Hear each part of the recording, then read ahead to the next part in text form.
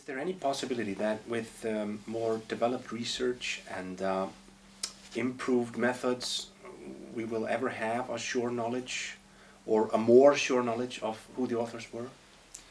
Well, we'll certainly never be able to tell for every text uh, who the author was, but for some of the texts there are plausible uh, candidates, uh, names that have come down to us of uh,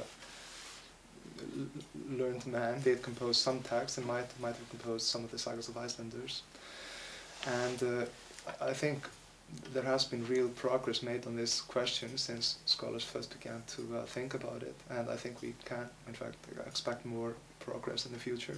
Mm. So now with uh, digital technology, uh, comparing different texts in uh, extensive ways is uh, possible and, in fact, rather easy.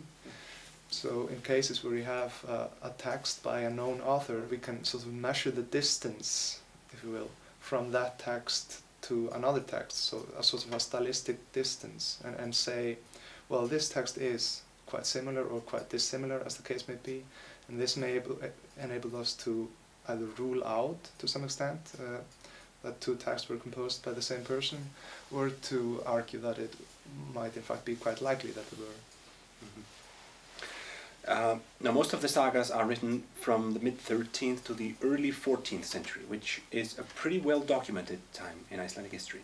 And we do know, as you say, the names of several scholars, uh, clerics, aristocrats, people who, who definitely wrote something.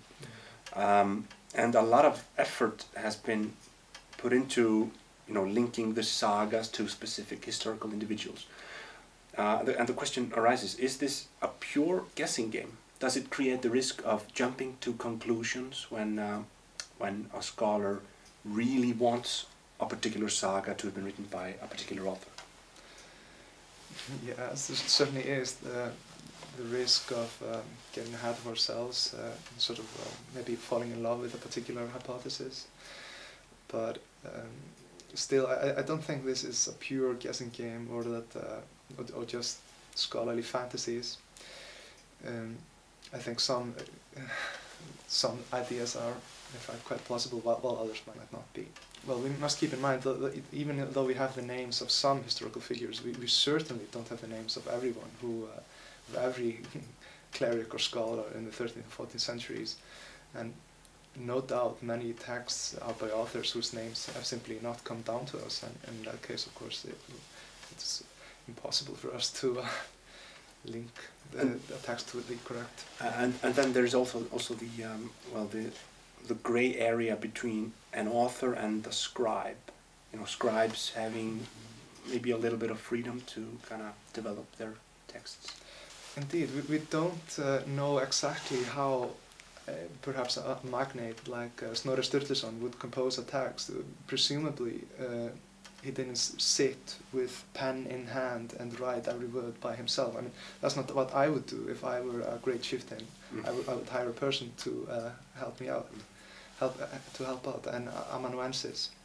So presumably he would dictate what he was composing to his scribe, and his scribe might then uh, not write uh, word by word uh, what the great master is saying every time. He might have some uh, influence of his own into how the text is composed.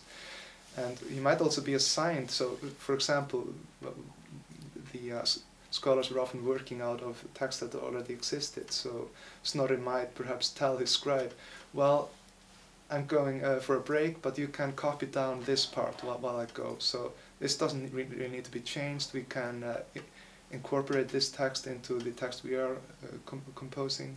So I don't need, maybe he didn't feel the need to dictate word by word everything.